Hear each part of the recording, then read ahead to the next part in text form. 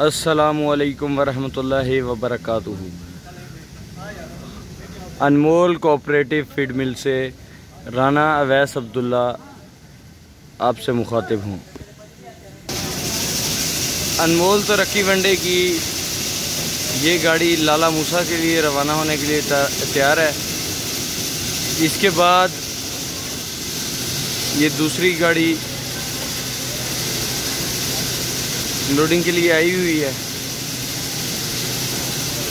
ये गुजरात जाएगी जी।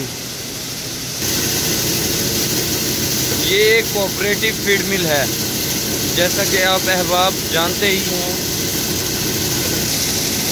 इसमें शमूलियत का तरीका, मुबलिक पाँच लाख रुपया अदा करके कोई भी ओवरसीज़ पाकिस्तानी या पाकिस्तान से कोई भी शख्स इसमें शामिल हो सक सकता है।